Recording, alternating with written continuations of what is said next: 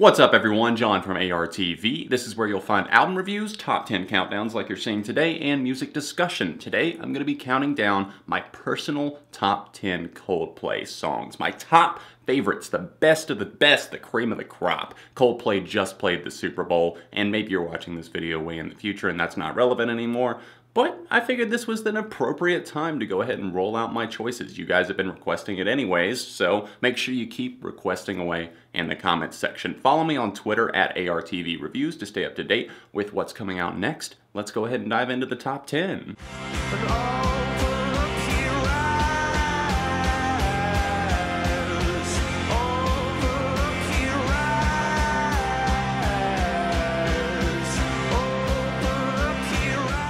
Massive, grandiose piano hits, well thought out lyrics, and an ever catchy melody. It's the epitome of what made early Coldplay material work like a charm. The buzzing bass line mixed in with Chris Martin singing the always in my head line, Open up your eyes.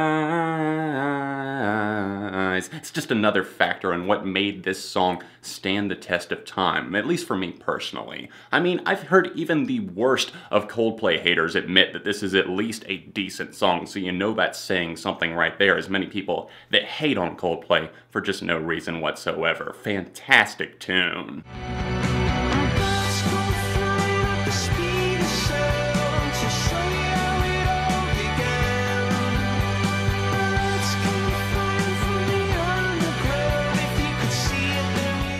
Story time! There once was a 13 year old boy named John, and he wanted this girl so, so bad, but he was shy and he didn't know how to express his feelings, and so he would go out at night on walks with his dog, lay in the grass on his back, look up at the stars, and play this song. Yes, I'm saying I have a personal and deep connection with the track. Some see it as a weaker entry into their catalog, but I'd argue that this is one of the defining moments of the X and Y movement that I thought was somewhat underrated. It's not their best album by any means, but at the same time, there are still plenty of things that work and keep Coldplay spinning on their axis. This is a song about being stuck in limbo, wondering what it's gonna take for you to take that next step forward to keep you from just sitting still and actually do something and be confident. Listen carefully and let it linger.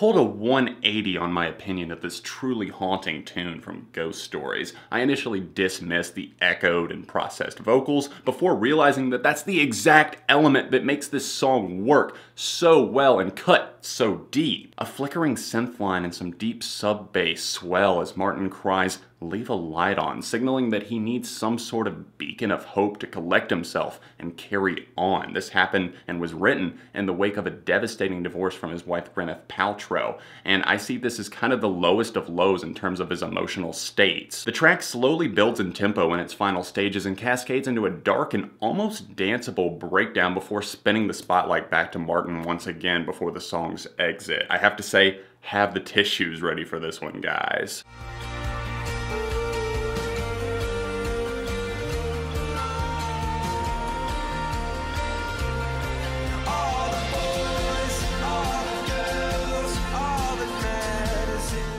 What a warm song this is. I mean, instant smiles come to mind whenever I think of Charlie Brown. It's upbeat, letting its hopes and dreams fly high as the acoustic guitar rollicks and the band lets go of one of its most explosive choruses. The instrumental will often loop in my head even years after the album's release, and there's one little thing that I really, really like about this song and find it very charming. It happens right at the end. The track is called Charlie Brown and originally had lyrics that reference the Peanuts character, but it was eventually removed, but they they the title. And I like the little nod at the very end, the little outro there that's played on the piano. It sounds like it was borrowed directly from one of the little Charlie Brown classics. And I remember hearing that melody played on the piano by my dad, who was a huge fan of Charlie Brown.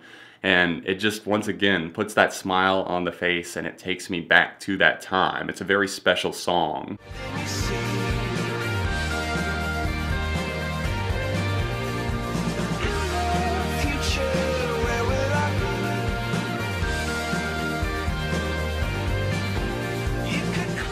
Talk is a prime example of whenever Coldplay were really selling themselves as an alternative rock band. I mean, this is a very riff-centric track. You're gonna hear electric guitars carrying this one, slicing in and out, especially on the chorus. There's a lot of questioning going on here, namely about the future and really pushing to be more than what you are currently. It could be for himself, a friend, a lover, really encouraging them, but I think it's applicable to anyone, which is really what makes this song stand the test of time.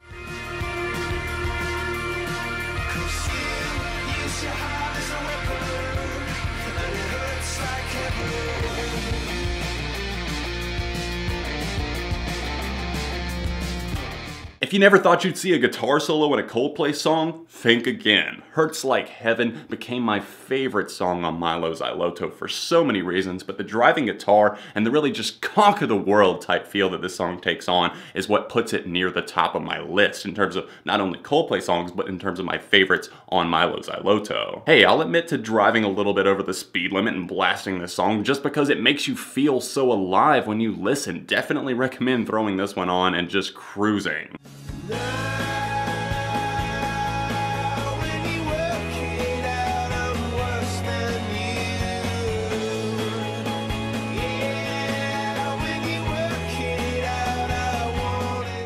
is this clocking in at number 4 on my list? Your guess is as good as mine. A certain dark sparkle in the eye comes along with this 2002 selection full of questions of religion, life, and death, the struggle in finding a balance between doing what's right and doing what you want to do. It's certainly one of the more interesting lyrical pieces to come from this band, not to say that they haven't written some great things, but some people think of them as being very simplistic, and that works for them a lot of the time, but I like seeing this one flow from a different vein. But I think the musicality is really what sells this track in general. I love the bass line, the way it builds up, the way it runs a little bit longer than a standard Coldplay or even a pop song. That's what really makes it stand out of a lineup to me.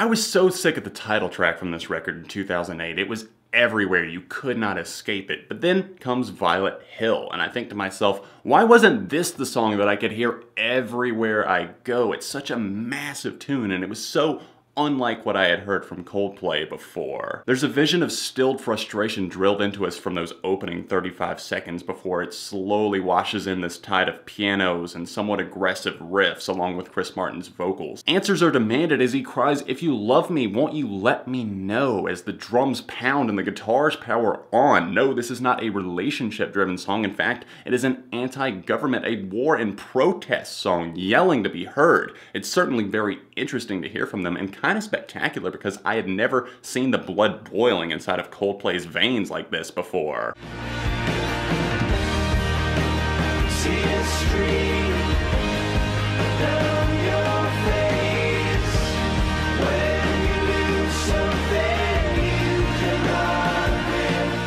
Okay, first off, if you have never heard this fucking phenomenal and fan-damn-tastic song, pause the video right now. Go hear it. Whether you've lost a friend, a lover, a father, whatever it might be, this song will tear you down and break you into little pieces like none other. It was originally written for Martin's ex-wife after she lost her father, but it turned into one of the biggest and the most inspirational songs of the 2000s. I say it's almost impossible not to feel something deep down inside, something stirring as you hear those guitars just kick in, followed by an earth-shattering drum pounding, and finally Martin's vocals just soaring back in along with those backing vocals as they cry, Tears stream down your face. I promise you I will learn from my mistakes. I was absolutely floored whenever I caught this song live when I saw them on tour in 2011 and I'm ever grateful to the guys for just giving this song to the world. Everything about it is perfect.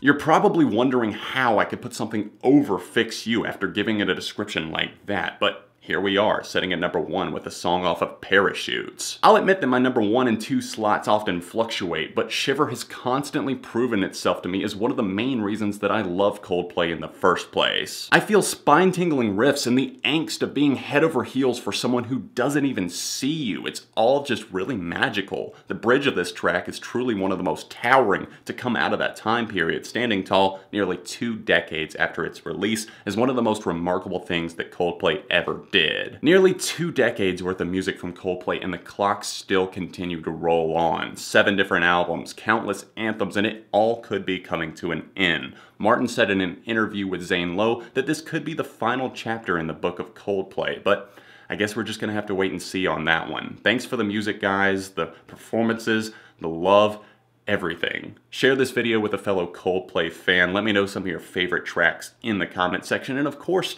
throw down some requests for maybe some more top 10s that you'd like to see me do, band-centric ones. Thanks for liking the video, subscribing to the channel because friends don't let friends go unsubscribed. Other than that, I will see you guys very, very soon right here on ARTV.